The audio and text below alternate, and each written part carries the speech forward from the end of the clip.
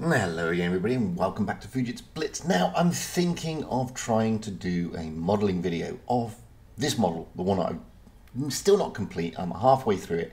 This is the very, very old Tamiya M48A3 Patton. This is it in US Marine colours from the Vietnam War. I'm thinking of putting it in a diagram, uh, diagram, diorama.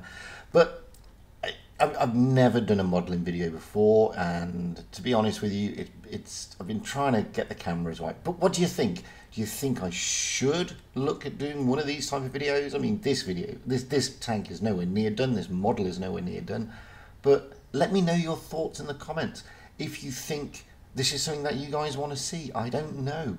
I mean, there there are lots of fantastic modelers out there. I mean, there's what there's a guy Night Shift, if you've never seen him, if you're into modeling, he's one of the best I've ever seen.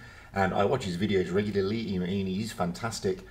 But, you know, this is a tank that we do have in the game, not in this manner, of course. I mean, this is a Vietnam version, and we have, I mean, this is closer to the M60 that we have in the game. But do you think this is something that you guys would like to see? As I said, let me know in the comments. As I said, this one's nowhere near finished, and I've done quite a bit of footage on getting it together, so it may be something that interests you.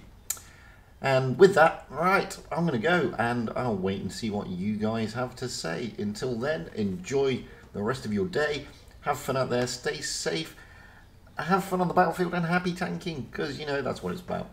Having fun and being happy.